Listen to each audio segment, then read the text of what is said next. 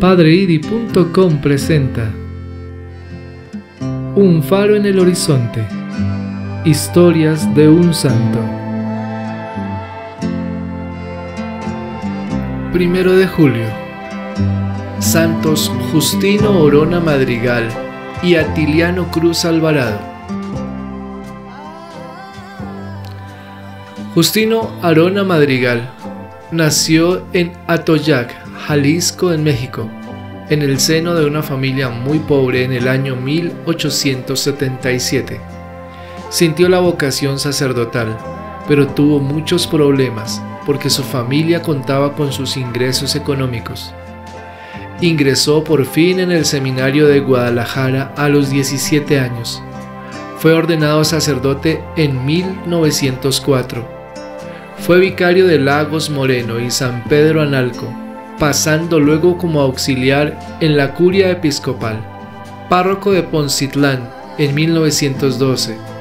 Encarnación y Cuquío, Jalisco en 1916.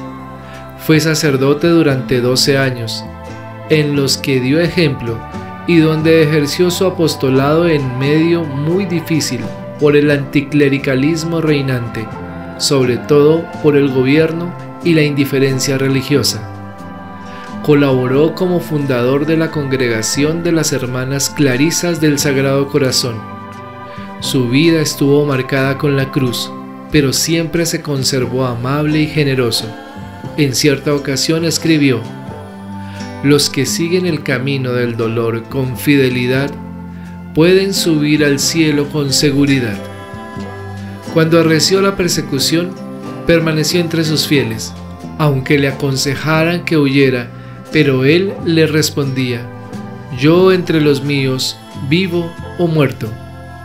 El día 28 de junio de 1928, llegó al rancho Las Cruces de la familia Jiménez Loza, acompañado de su hermano José María y Toribio Ayala, que fue ahorcado por proteger a sus párrocos. El padre Atiliano Cruz, su coadjutor, llegó el día 29. Allí estuvieron planificando la pastoral parroquial durante dos días. En la madrugada del día primero de julio, cuando estaban acostados, se presentó en el rancho un pelotón de soldados que acribillaron a balazos al padre Justino, junto con su hermano José María. El padre Atiliano, al ver tanta sangre y asustado, se puso de rodillas y dispararon contra él. Su cuerpo estaba agonizante. Lo tiraron a un patio junto al padre Justino y su hermano. Después de mofarse y burlarse de los cadáveres que fueron llevados a Cuquío y arrojados a la plaza principal. El padre Atiliano tenía el cráneo deshecho por las balas expansivas. Atiliano Cruz Alvarado nació en 1901 en Ahuetiche de Abajo, Jalisco, México, en una familia de ascendencia indígena, de la que recibió una buena educación cristiana.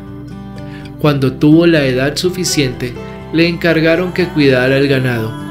Más tarde lo llevaron sus padres a Teocaltiche, para que aprendiera a leer y a escribir. A los 17 años ingresó en el Seminario Auxiliar de Teocaltiche.